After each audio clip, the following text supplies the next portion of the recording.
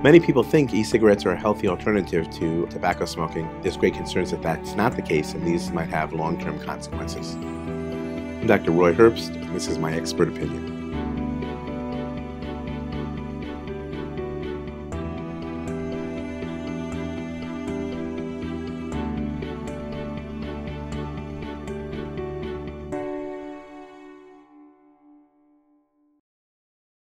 E-cigarette or electronic cigarettes are, devices uh, which are basically uh, a mechanism for delivering um, inhaled nicotine to patients. In regular cigarettes, there are many uh, toxins that can cause cancer, and then there's nicotine, which is a very addictive element of those cigarettes. The e-cigarettes, the nicotine is vaporized in a chamber, and then it's inhaled um, uh, very much like a regular cigarette.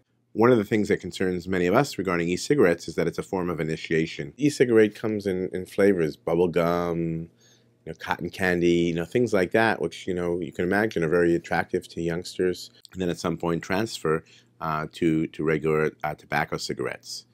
Uh, right now, uh, of course, there's been great strides in the United States in uh, curbing tobacco use. Uh, we've gone in the last 40 to 50 years from 50 to 60 percent of the American population smoking down to about 18 percent, but we still have to do much, much better that is a, a, fallacy that, that these can be used as uh, smoking cessation devices um, there are many other forms of, of nicotine replacement that can be used. Lozenges, gum, and patches. They've all been FDA approved, tested, and shown to work. E-cigarettes have not. If uh, the manufacturers want that to be the case, the suggestion is they should do controlled trials to prove that these in fact work in that way, which have not yet been done. E-cigarettes are, are not yet regulated, though we're uh, in, in a statement that I, I led from the American Association of Cancer Research and the American Society of Clinical Oncology we explored um, these e-cigarettes and we did call for the FDA to regulate their, their use.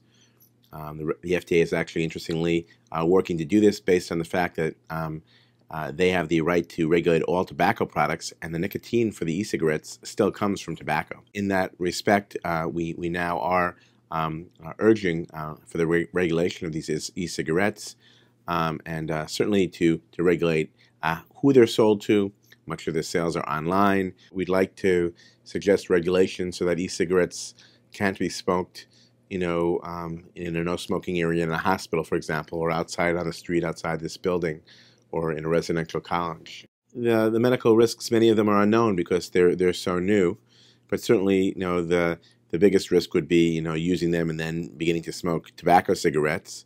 But again, we don't know the long-term risks of putting a device in your mouth with high levels of nicotine potentially higher than one might get with other replacement uh, forms of nicotine or with cigarettes. And you know that could have long-term toxicity as well. It's just too soon to tell.